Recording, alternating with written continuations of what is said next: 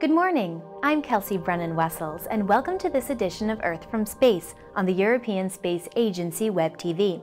Today we take a look at the Tian Shan Mountains stretching across the border region of Kazakhstan, Kyrgyzstan, and Western China.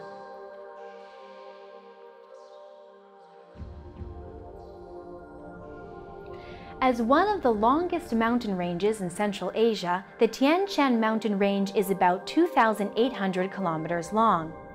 The mountains are home to evergreen spruce trees at altitudes of over 2,000 meters, while the lower slopes have natural forests of wild walnuts and apples. This large dark lake that splits the mountain range in eastern Kyrgyzstan is the second largest saline lake after the Caspian Sea. Because it never freezes despite how cold the area gets, it is known as the Hot Lake in the local language. This was also a stopover point on the Silk Road from the Far East to Europe.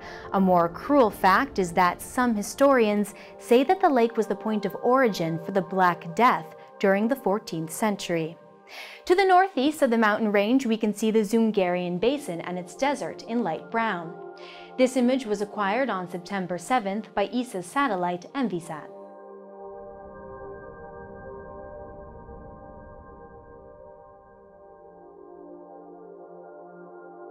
Well, that brings us to the end of this edition of Earth from Space. We remind you that we broadcast online every Friday at 10 o'clock Central European Time, and you can watch us through your ESA app on your mobile device or on our website. From the ESA Web TV studios, I'm Kelsea Brennan Wessels.